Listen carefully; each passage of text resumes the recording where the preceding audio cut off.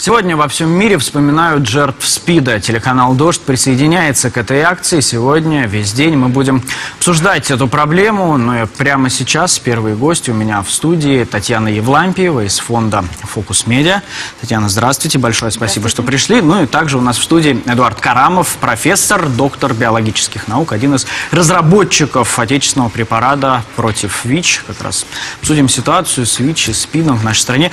А, Эдуард Владимирович, здравствуйте. Добрый Большое день. спасибо, что и вы к нам пришли. Ну, э, для начала хотелось бы задать такой очень общий вопрос. Мы знаем всегда, что СПИД это где-то рядом, это ужасно, это катастрофа, при этом размеры катастрофы, ну вот конкретно в нашей стране, люди ну, либо не знают, либо не очень хотят знать, насколько действительно для нашей страны это вот здесь и сейчас, что называется, серьезная или даже катастрофическая проблема.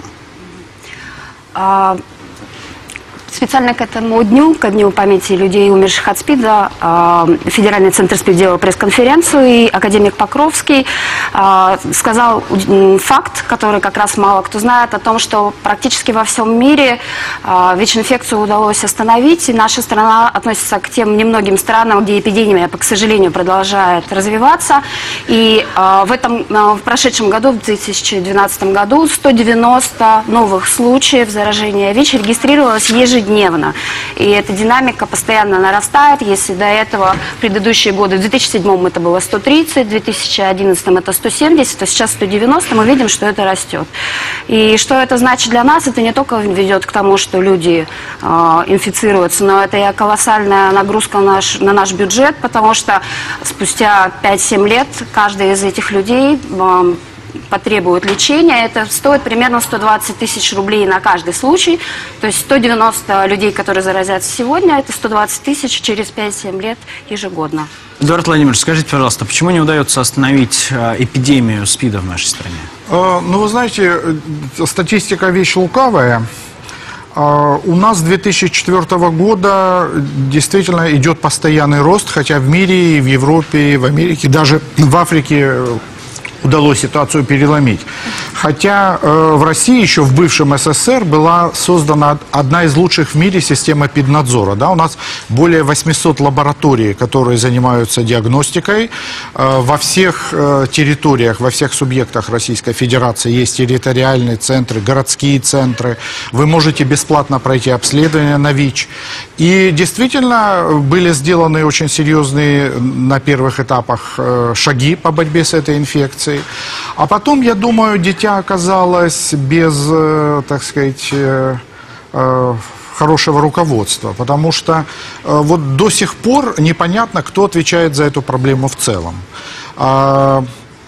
В прошлом году э, была расформирована уже практически год назад правительственная комиссия, которой руководила тогда бывший министр здравоохранения Голикова. Ну, Но подождите, она, правда, два года и не собиралась, эта комиссия. но, простите, пожалуйста, я, не- я не знаю, может быть, это какая-то банальная наивность, но разве не Минздрав соцразвития должен отвечать э, за этот вопрос? Ну, вот такой вы- вывод предельно очевидный и на поверхности. Нет, Минздрав отвечает за закупку и распределение лекарственных препаратов. А, например, такие вопросы, как разработка э, вакцин, микробицидов, система профилактики, это вообще непонятно, кто за это То отвечает. есть Минздрав не занимается системой профилактики не занимается реально сейчас, и это большая-большая проблема. И вот я знаю, что одно из дел э, расследовала Генпрокуратура. Практика такова, вот скажем, к концу года вдруг объявляется там тендер на какие-то, ну, на профилактические работы, да? Кто-то выигрывает, не хочу называть конкретные имена, да? Выполняет эту работу в течение 39 дней. Никто не видит этого результата, деньги на это уходят довольно серьезно, и вот сейчас Следственный комитет по представлению Генпрокуратуры занимается одним из таких исследований. Но проблема-то, это мелкие такие факты, главная проблема в том, что нет руководства. Да? Вот, скажем, в США руководит проблемой этой первое лицо, президент Обама. Во многих государствах Меркель лично руководит в Германии. У нас даже на уровне замминистра вы не найдете человека, который отвечает за эту проблему. Проблема ведь не только медицинская, это не только лекарства. Тут у нас более или менее все в порядке. Это ведь проблема социальная, Это проблема образовательная. Вы должны...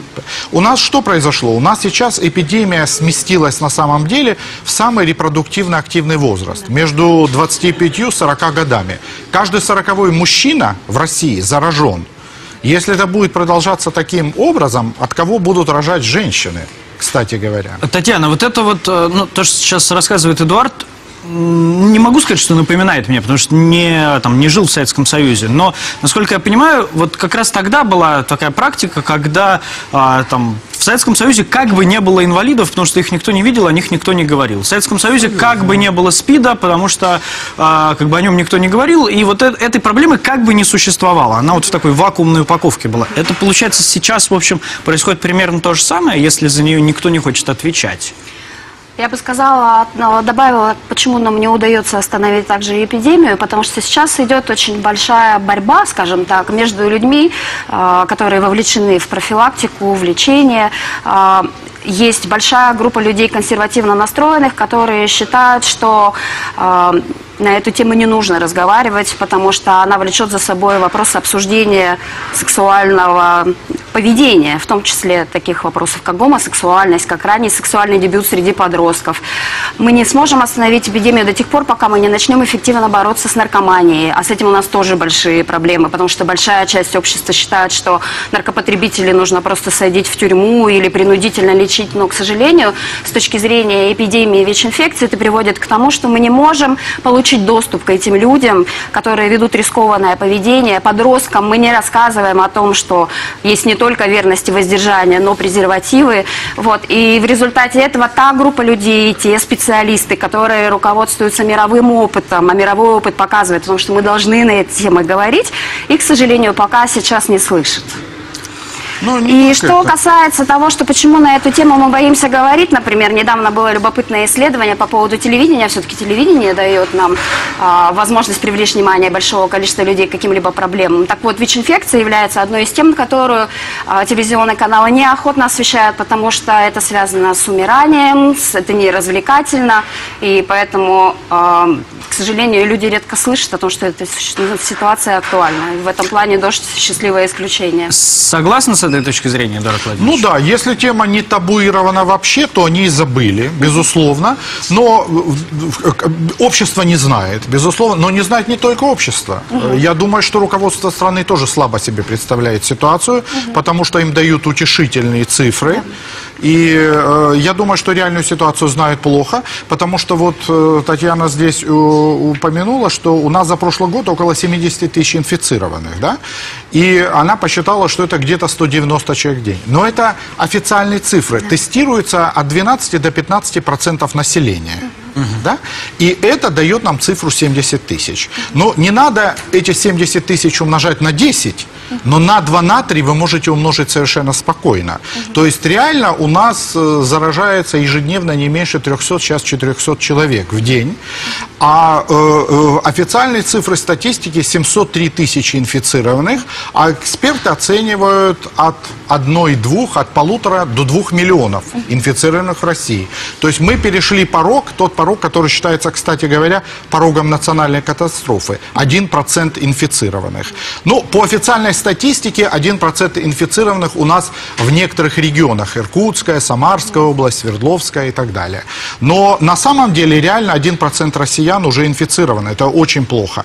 И как я еще раз говорю, нет национальной стратегии, нет плана борьбы, нет поэтапных вещей, не поставлены главные конкретные задачи. Хотя и абсолютно, конечно, про науку забыли. А Россия почему-то думает, мы, кстати, тратим огромные деньги. Не- нельзя ругать правительство, что денег не выделяет. Я вот, кстати, хотел 19 спросить, миллиардов рублей это в год. же действительно, ну, опять-таки, вот на мой отстранен, ну, с моей отстраненной точки зрения, это же жутко не- недальновидно, потому что если люди, ну, а, там, заражаются, заражены СПИДом, то все равно же государство в какой-то момент вынуждено тратить Нет. гигантские деньги на их Гигантские. лечение, на Гигантские. поддержание в них да жизни. не то, что на поддержание, не просто на поддержание жизни. Мы покупаем на огромные деньги, на эти миллиарды, мы покупаем зарубежные лекарства. Потому что в России больше 20 лет нет своей программы создания лекарств. Своей программы разработки вакцины. Она дважды начиналась и дважды прекращалась. Нет своей программы разработки микробицидов. Это препараты, которые прерывают половую передачу ВИЧ. То есть нет национальной стратегии вообще, и никто в правительстве как таковой, потому что это должна быть персона, ну, на уровне вице-премьера, который координирует деятельность между разными министерствами. Это отнюдь не только задача Минздрава. Это задача и Минобрнауки, обязательно. Это задача и Минюста, это задача э, Минтруда. Понимаете, тут много вещей. У нас э, больше 15 лет не было случаев внутрибольничного заражения. Сейчас они есть. Сейчас они есть. У нас э, десятки детей сейчас э, заражаются при грудном вскармливании. За это спасибо доморощенным идиотам, спид-диссидентам, которые, кстати, им великолепную дают трибуну. Они и книжки издают, и на телевидении появляются. А, а расшифруйте, пожалуйста, термин. Это мне люди, не которые понятен. отрицают, что никакого СПИДа нет. Это один из замечательных способов бороться с проблемой. Ее нет вообще. Вируса нет. Болезни такой нет. Это все придумано злыми дядьками. Ну да, приходилось слышать такое. Да-да-да, в лабораториях придумали. Одни говорят, что вирус сделали в лабораториях, другие говорят, что вообще ничего не, такого подобного нет. И эти люди имеют широкую трибуну. А д- российский человек очень доверчив. Эти мамы несчастные, инфицированные, которым врачи говорят, вы должны делать это, это, это, это, вы должны пить лекарства, но лекарства токсичны, вы должны их пить по определенному регламенту, иначе нанесете вред будущему ребенку. А Вы ни в коем случае не должны вскармливать грудью, потому что тогда есть риск заражения ребенка, он недолго проживет и так далее. А тут он говорит, да вы что, вы им не верьте. Это же, это же враги, они на вас наживаются. Никакого вируса нет. Вы что, бросаете это дело? Не хочу называть имена известных журналистов, которые, кстати, на центральных каналах это озвучивают. Татьяна, скажите, пожалуйста, ну вот э, наверняка же этот вопрос э, там, об отсутствии стратегии, о там, отсутствии некоторых шагов, он же наверняка ставился, ну в том числе и в лоб, ну, некоторым конкретным людям. А у них же, наверное, есть какая-то аргументация, согласно которой они себя ведут. Вот что они говорят? А, До прошлого года Министерство здравоохранения нас просто не видело и не слышало. Из-за этого активистам приходилось приковывать себя наручниками просто к воротам Минздрава, чтобы их услышали, что существуют проблемы. Есть депутаты, которые говорят о том, что вы придумываете, и такой серьезной проблемы у нас нет, у нас все лучше, чем за рубежом. Вот. Я думаю, что долгое время чиновники настолько боялись на эту тему говорить, да, что просто делали вид, что этого не существует. Но сейчас эпидемия настолько велика, что ее игнорировать уже просто невозможно. И поэтому э, в этом году произошло некое чудо. Буквально на днях Министерство здравоохранения собрало общественные организации, собрало экспертов и сказало нам, давайте разрабатывать стратегию. И сейчас этот процесс начнется. Мы сами не можем поверить в свое счастье, что это происходит. Вот, и надеемся на то, что, может быть, в следующем году как-то нам все-таки удастся, наконец, сделать адекватные действия, чтобы на эпидемию влиять. А я хотела добавить, если честно, еще два слова о том, почему очень часто бывают простые граждане говорят, ну хорошо, ладно, вот есть эпидемия, меня не касается. И, Ну да, то есть собственно, я, я, я не наркоман, но у Да. меня семья, дети, я, собственно, Да. э, верен. И, Да. и, и что вообще вот эти вот колющиеся там, Да. дураки? Очень же распространенная Распространенная парадигма. такая, да, и говорят о том, зачем их лечить, пусть умрут, и на этом все закончится, да. Но дело в том, что нужно понимать, что человек, который заражается ВИЧ-инфекцией, ВИЧ приводит к снижению иммунитета, и поэтому самое первое заболевание, от чего чаще всего страдают ВИЧ-положительные люди, это туберкулез. И если вы будете смотреть статистику, то сейчас очень сильно растет туберкулез в России, и если, например, хорошо, вы верны своей жене, допустим, хотя мы сами понимаем, насколько это часто с оговорками бывает, то дышать вы не перестанете. И поэтому туберкулез распространяется в том случае, если мы не лечим ВИЧ-инфекцию. И э, второй, второй аспект, который я хотела отметить, о том, что сейчас наиболее характерное лицо ВИЧ-положительного клиента – это молодая девушка, которая вышла замуж, забеременела и вместе с беременностью узнала о том, что у нее ВИЧ-инфекция. И поэтому вот просто хочу обратиться к людям сейчас, пожалуйста, если планируете выходить замуж, если у вас предстоит первый сексуальный контакт, если вы вообще когда-либо вступали в сексуальные контакты без презерватива, обязательно сдайте тест на ВИЧ, потому что это просто очень-очень-очень сейчас часто встречающаяся проблема. Эдуард Владимирович, скажите, пожалуйста, вот мы, ну, собственно, как так несколько обошли эту тему, хотелось бы чуть подробнее поговорить. А, собственно, основные причины возникновения эпидемии, вот за счет кого, в первую очередь, за счет каких групп и каким образом прирастает число а, ВИЧ-инфицированных Ну, если не вдаваться, скажем, в историю, изве- известно, что вирус этот возник в мире животных, и человек получил его в результате зоотрансмиссии, вообще от обезьян, от шимпанзе. Вот. Э, В разных регионах мира был разный тип эпидемии. Скажем, американская эпидемия отличается от российской, там, пути передачи. Там э, в большинстве своем э, заражены секс-меньшинства. У нас другой портрет эпидемии. У нас, ну, опять не говоря, так сказать, исторически, у нас несколько лет назад доминирующей группой и доминирующим путем распространения были наркотики. Наркотики. А сейчас, если в, в целом по России, то у нас более 50% прироста новых случаев инфекции – это э, гетеросексуальная передача, то есть половой путь передачи вируса. А, это наркоманы. Вот они сейчас, э, они занимают значит, приблизительно там, там 48-49 процентов, наверное. И небольшой, э, там около полутора процентов по всей России, это вот, э, так сказать, путь передачи среди секс-меньшинств. Вот. Есть теперь, к сожалению, растет путь передачи парентеральный, вот эти нозокомиальные очаги в больницах, грудное вскармливание. Есть какое-то- В Москве, кстати, другой, другой портрет эпидемии. В Москве э, в- это наркоманы, очень значительный путь передачи. Это гетеросексуальная передача. И четверть всех случаев передачи вируса в Москве это как раз секс-меньшинства. А по всей России это только полтора процента. То есть с этими группами уязвимыми надо работать. Нельзя закрывать глаза на то, что этого нет. Это есть.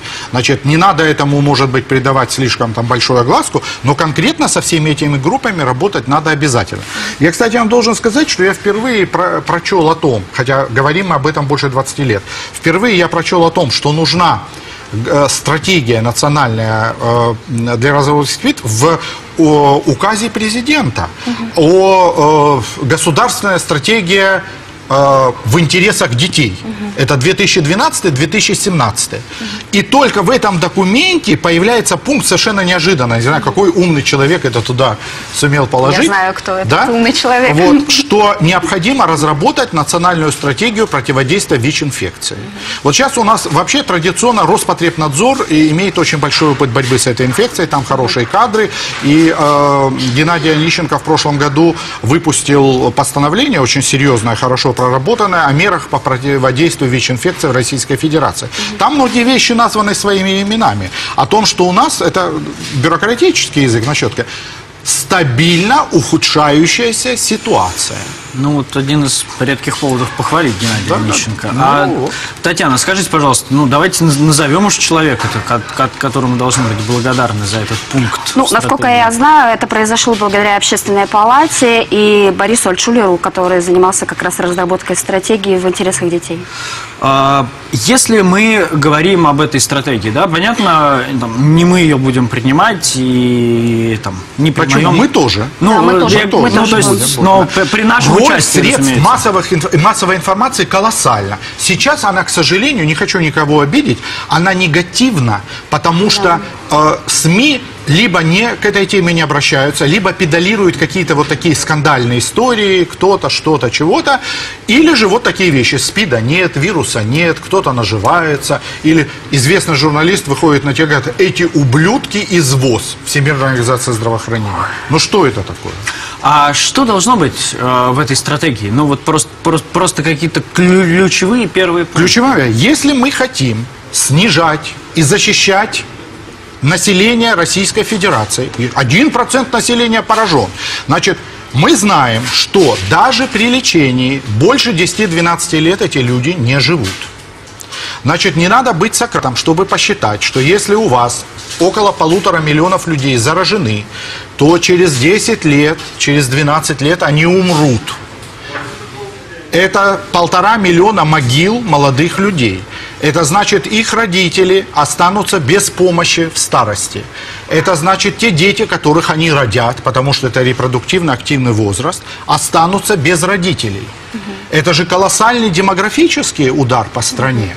Это же будет влиять и на рабочую силу. Мы и так у нас демографические проблемы. Это же надо понимать, это надо оценивать. Что должно быть в стратегии, чтобы этого не произошло? Так, это опыт уже колоссальный мир имеет. Да? Вот европейские страны справились. Один из лучших примеров Германия. В Германии, там население сколько у нас в Германии? 83 миллиона, у нас 143. В Германии э, за год чуть меньше трех тысяч случаев заражения. За год? За год. У То есть- нас то есть 70. это- То есть это у нас за, за, за неделю 3000 человек, Ну, да, у нас, примерно? в общем, э, и это один момент, а второй момент, учтите, в Германии и в России разные системы статистики. месяц. Разные системы статистики. Наша система существенно четче. И на самом деле э, мы точно знаем, кто даже. Они, у них estimated, оценочные оценки. Но если мы применим их систему оценки, то у нас заражается не 70 тысяч, а как минимум 200. А, как- Я- Какие шаги? Я думаю, что то, на, на- на самом деле, вот то, что я буду предлагать совершенно точно, нам нужна профилактика, мы должны честно признаться, что у нас есть секс в России, мы должны людям объяснить, как себя защитить, если они не только верны одному единственному Ну, то есть, партнеру. грубо говоря, это вот э, извечно а, обсуждающийся вопрос, нужно ли там детям в условном девятом, десятом классе это тоже одна из рассказать, что проблем. мальчик с девочкой дружат, и хорошо Да. бы, чтобы они И дружили мы должны признать, что у нас это есть, и мы должны им об этом начать говорить. И не только им, потому что у нас не предохраняются и взрослые тоже. Что мы видим на эпидемии абортов, как среди подростков, так и взрослых людей. Мы должны, на мой взгляд, я не знаю, возможно, это дискуссионный вопрос, но я считаю, что мы должны перестать вкладывать столько денег в массовый скрининг, потому что мы абсолютно, мы в- в 18% населения тестируем, но при этом это бабушки, дедушки, люди, которые ложатся в Люди, больницы. которые ходят в поликлинику. Да, да. И должны тестировать, соответственно, те группы, которые реально уязвимы, и которые сейчас практически тестированием не охвачены. Э, И Добровольно или... Это должно быть добровольное тестирование, но при этом это должно быть... Нужно объяснить людям, почему им нужно идти. Мы должны бороться со спиддиссидентством, потому что это очень опасная вещь. Сегодня мне моя подруга написала о том, что у нее третий знакомый за этот год умер от того, что он отказывался принимать препараты. Это начинает носить массовый характер.